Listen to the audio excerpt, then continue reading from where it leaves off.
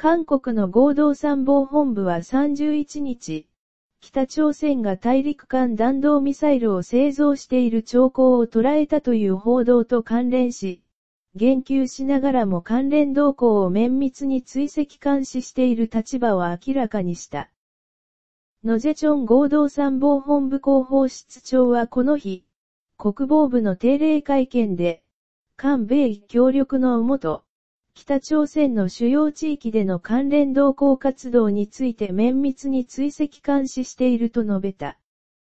これに先立ち、ワシントンポストは30日、